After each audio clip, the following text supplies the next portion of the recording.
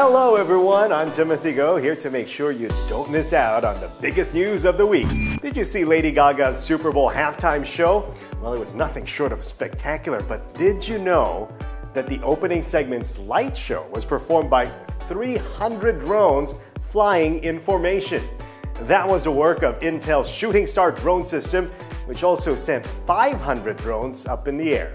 The impressive light show even set a Guinness World Record for the most unmanned aerial vehicle airborne simultaneously in 2016.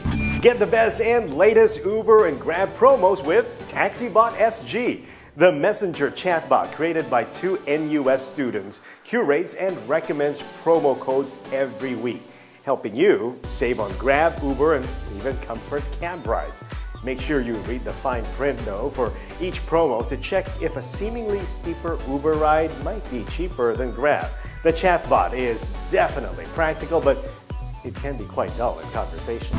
Step into the wild with the Lenovo Phab 2 Pro from 11th of February at the Art Science Museum. The augmented reality exhibition is meant to raise environmental awareness through augmented reality with the Google Tango smartphone.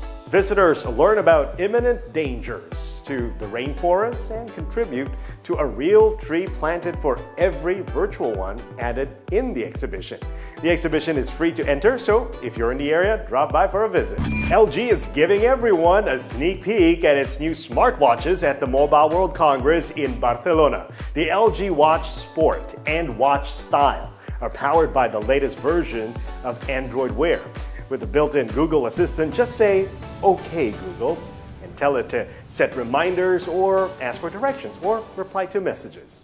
And there you have it. You're all set for this week.